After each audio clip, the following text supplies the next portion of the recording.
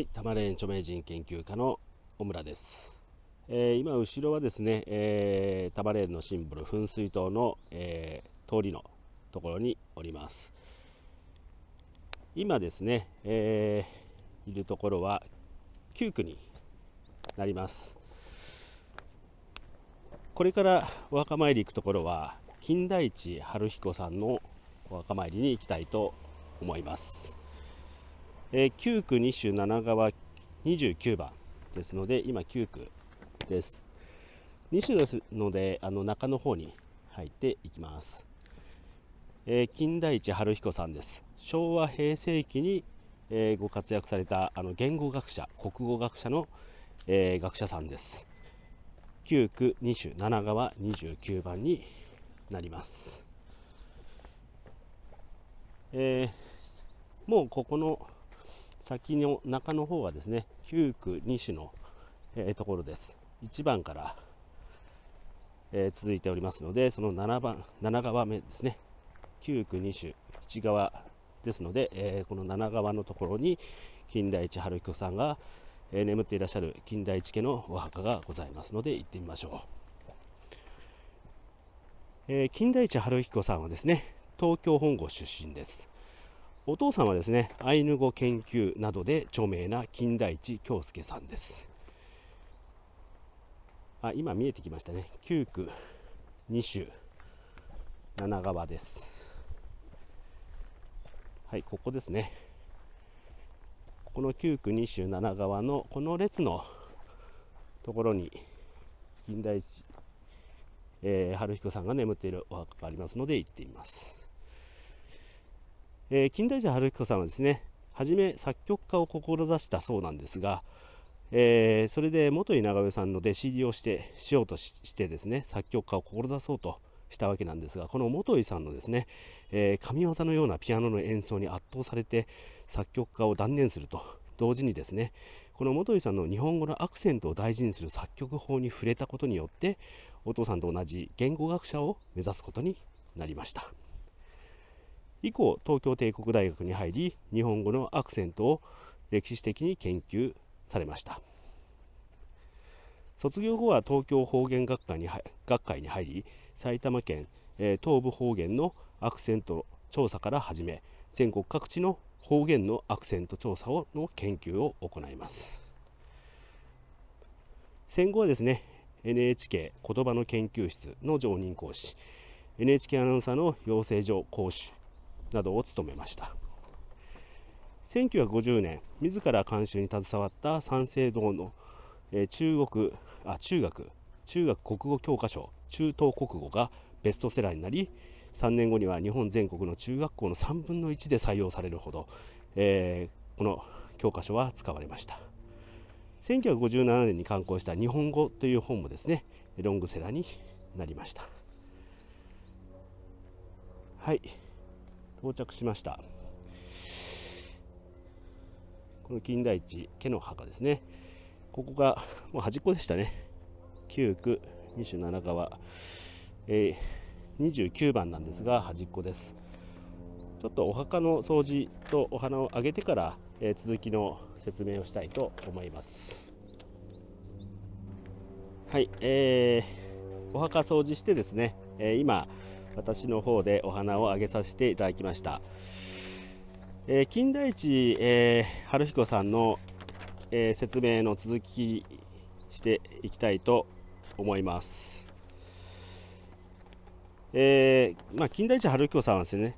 えーそのように、まあ、お父さんも、えー言語学者だったわけですけれどもご自身も言語学者になってですね、えー特にこの日本語の音韻についての研究を続けアクセントの歴史的変化の分析や体系化方言の調査分析と系統化などで業績を残された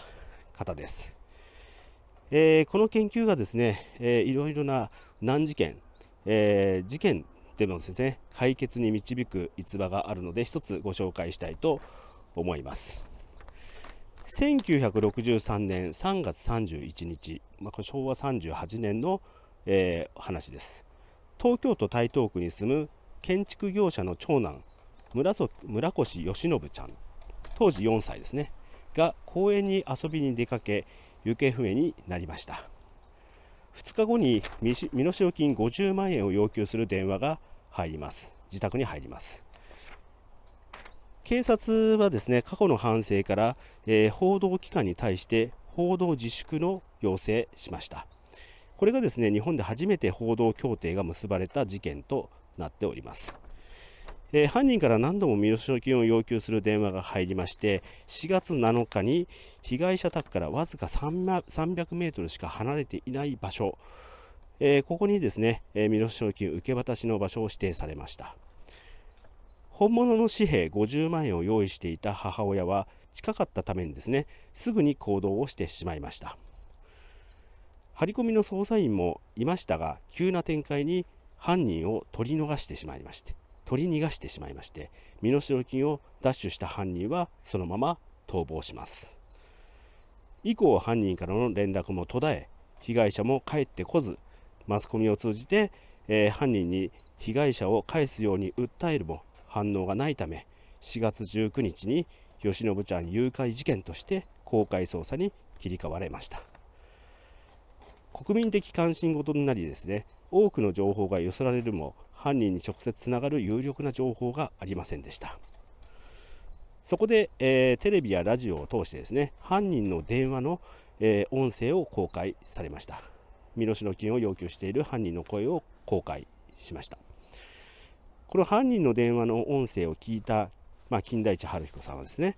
えー、まあ、たまたま聞いたんですね。その時にあこの発音発音は茨城か栃木か福島だよとつぶやいたそうですね。そのつぶやきをですね聞いた、えー、奥様が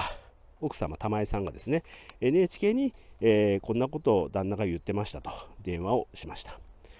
さらに、えー、マスコミからのですねインタビュー取材などにも答えて朝日新聞にはですねこの青とかですね3番目というこの言葉のアクセントの、えー、微濁音の使用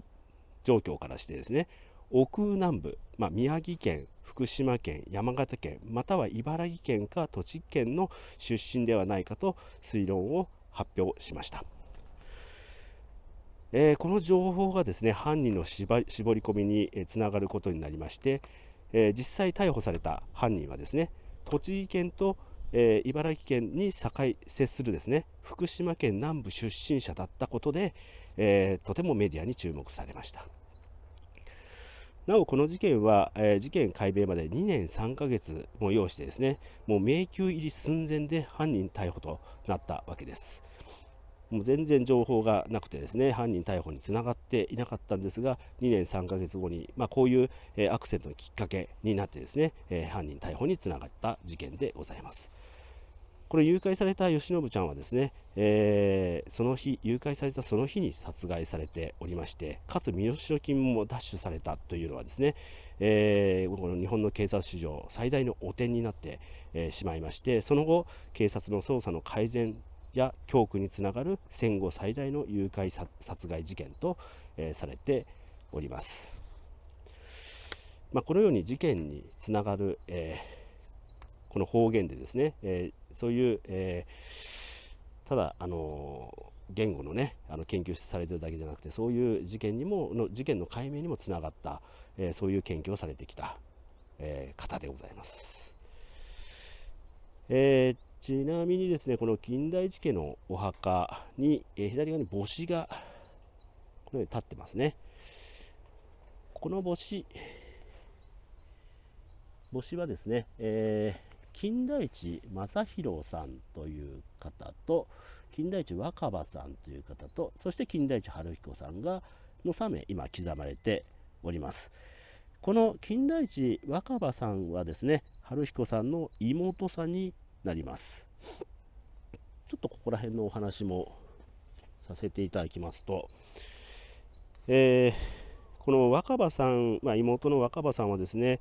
えー、すごく病弱な体質で、えー、ございまして、まあ、さらにですね、まあ、戦争などもあってですね戦後1948年12月15日にですね東京工業大学有機化学有機化学教室助手を務めていた科学者のこの正弘さんとご結婚されます。この正弘さんがですね金田一家の婿養子ということになりまして、えー、まあ、結婚当初はですね、えー、この金田一春彦さんのお父さんの金田一京介さんたちと、え同居をされておりました。えー、その1年後ですね、結婚してまだ1年ぐらいしか経っていなかったんですが、この若葉さんがですね、えー、体が弱く生きていく自信がなくなったと遺書を残してですね、玉川上水に入水自殺をされてしまいます。えー、なので、とっても若くですね、29歳で、え亡くなられております。この正彦さんもですね、えー、ちょっと病気で35歳の若さで亡くなっておりまして2人も2人には子供がおりませんでしたのでこちらの墓所もですね、えー、継承者がいなくなってしまったということなので、えー、まあ、そういう流れで、えー、春彦さんが、えこの墓所を継承されたのではなかろうかと推測します。ちなみに金田一京介さんですね。お父さんの方の金田一京介さんのお墓は雑司ヶ谷霊園にあります。こちらの玉霊園は、えー、その妹さん金田一京介さんの妹さんとこの息子の春彦さんがあのお墓を、えー、に眠っております。ちなみにですねこの、まあ、妹さん、まあ、金田一京介さんからすると娘さんになるんですが、えー、この娘さんがあの玉川上水でですね身を投げてしまったということで、えー、金田一京介さんがですね杉並区東京の杉並区久我山1丁目にですねの玉川上水沿いに水難者慰霊碑というのを、えー、建てております、えー、兵庫橋という橋がかかっているところですね。その、え南岸にですね水難者慰霊碑というのを昭和24年えー、に投身自殺されたあの愛娘若葉の、えー、ためにということで、えー、歌も、え一緒に添えてですね、え慰霊碑が立っております。ちょっとこちら余談でございました。はい。えー、金田一、えー、春彦さんおよび金田一家の、えー、お眠りになっている方々のご紹介をさせていただきました。お花は先ほど挙げさせていただきましたので、え手を合わせさせていただくえー、お墓参りさせていただきます。合唱させていただきます。はい、えー、以上、金田一春彦さんおよび金田一家の皆様の、えー、ご紹介、お墓参りでございました。えー、以上でございます。